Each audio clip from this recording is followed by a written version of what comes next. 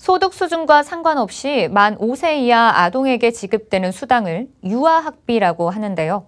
외국인 아동의 경우 보육시설에 따라 지원을 받을 수 있고 없고의 차이가 있어 형평성 논란이 있었습니다. 군포시는 조례를 개정해 내년부터 외국인 아동 전원에게 유아학비를 지급하겠다는 계획입니다. 권예솔 기자의 보도입니다. 만 5세까지 어린이집을 다니는 아동에게 지급되는 유아학비. 최대 33만 원 수준의 비용을 소득 수준에 관계없이 매년 지원받을 수 있습니다. 하지만 외국인 아동의 경우 보육시설 유형에 따라 제한을 받습니다.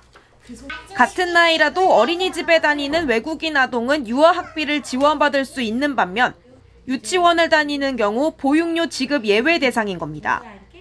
어린이집과 유치원 담당 부처가 각각 보건복지부와 교육부로 다르기 때문에 벌어진 차별입니다. 군포시는 유아학비 지급 형평성 문제를 해소하기 위해 현재 관련 조례 개정을 추진 중입니다.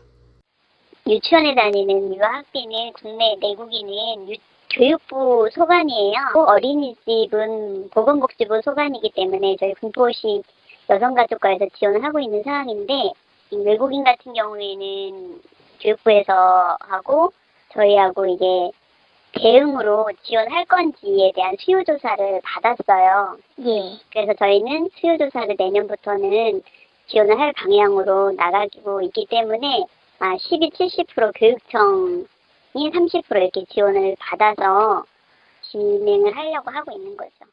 조례가 개정되면 어린이집이나 유치원 관계없이 만 3세 이상 5세 이하의 외국인 아동 누구나 최대 33만 원 수준의 유아 학비를 받을 수 있게 됩니다. 이달 기준 유치원에 다니는 군포시 내 외국인 아동은 46명입니다.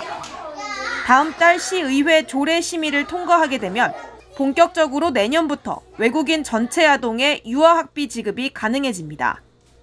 BTV 뉴스 권예솔입니다.